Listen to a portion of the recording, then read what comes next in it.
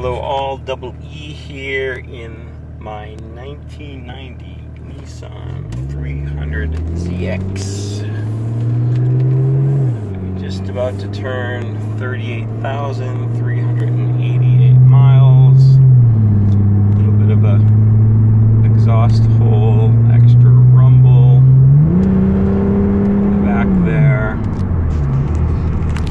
Pull it over, get a little run, get the air conditioning blowing in this 100 degree day in Phoenix, Arizona.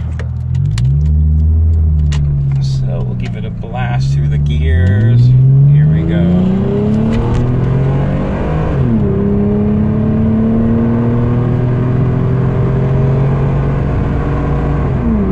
Kind of easing into it.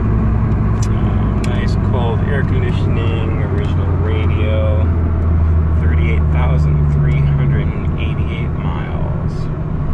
Ready for an appreciating new owner.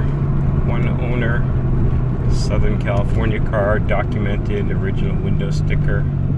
Quite a find. Feel free to give me a call, Evan, 650 350 8828. Thanks for watching.